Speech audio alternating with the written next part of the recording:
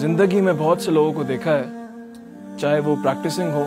या non practising हर के अंदर एक ख्वाहिश ज़रूर होती है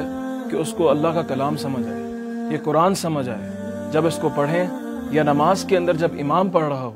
तो उसको फील कर सकें कि अल्लाह ताला उनसे क्या कह रहा है लेकिन फिर ख्वाहिश ख्वाहिश रह जाती है और इसको पूरा नहीं कर पाते या एवेन्यूज़ नहीं हैं या अपॉर्चुनिटीज़ नहीं हैं अगर अपॉर्चुनिटीज़ हैं तो कन्वीनियंट नहीं है कि हम उसको पूरा कर सकें अलमदरार इंस्टीट्यूट ने इस बार एप्लीकेटिव अरबिक का एक कोर्स शुरू किया है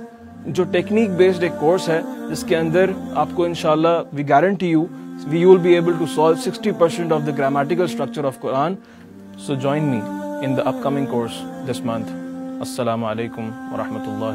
वर्का